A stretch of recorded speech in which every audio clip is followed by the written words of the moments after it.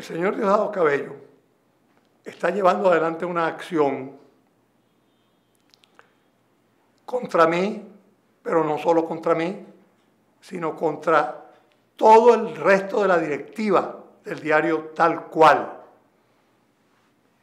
incluyendo algunos de los cuyos miembros ni siquiera se encuentran en el país ni han estado presentes cuando los hechos a los que se refiere la acusación de Cabello tuvieron lugar. Esta es una acusación sin pies ni cabeza. Esto es sencillamente un pretexto, un hecho nimio, insignificante, como es que un colaborador externo del periódico, un escritor de opinión del periódico, en una de sus crónicas mencionó o citó una frase de Cabello que él presuntamente habría dicho, en el sentido de que el que no le guste Venezuela así como está, que se vaya,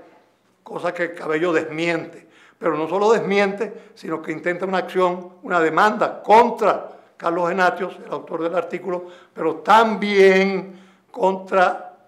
el editor del periódico y el resto de la junta directiva del periódico. Esto no tiene ni pies ni cabeza.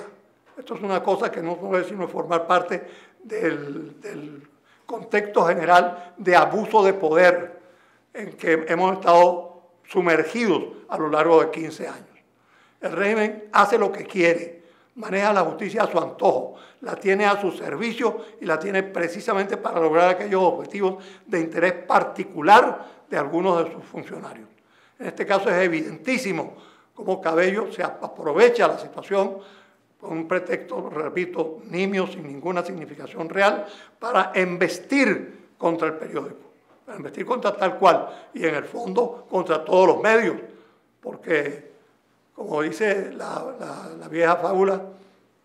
de ti están hablando, cuando hablan de tal cual, hay otros que tienen que oír que ellos también están hablando, porque no se trata solamente de una acción contra un periódico, se trata de una acción contra un derecho fundamental que es el de la libertad de expresión. Es la libertad de expresión la que está siendo constantemente amenazada y su ejercicio colocado constantemente en condiciones de restricción por parte de la gente del reino.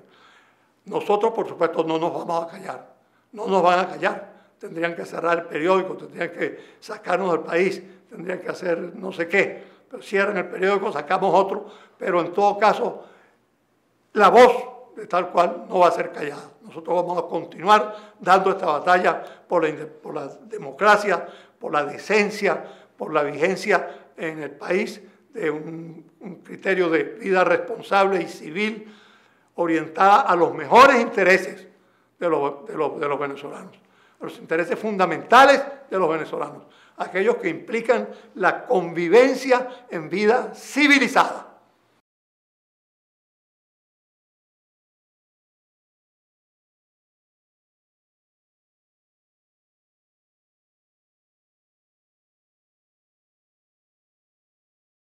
Hoy estamos presentando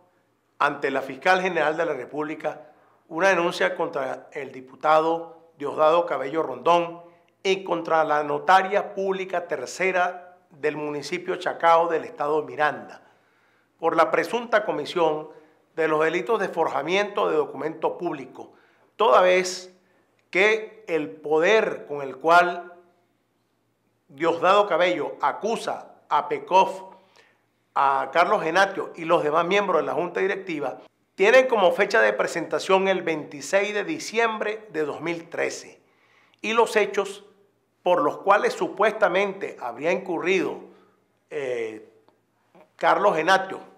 y la directiva de tal cual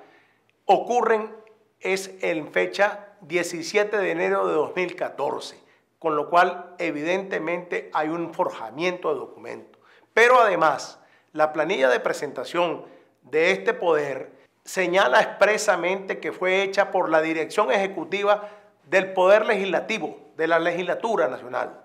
por lo cual entonces estaríamos en presencia del valimiento de funcionario público e incluso, en opinión de abogados con mayor experiencia, de peculado.